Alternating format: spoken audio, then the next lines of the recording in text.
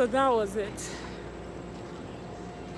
Thank you, God, for giving me another chance to talk about you on the campus. Now I'm gonna do some one-on-one. One-on-one. I see some students gathering.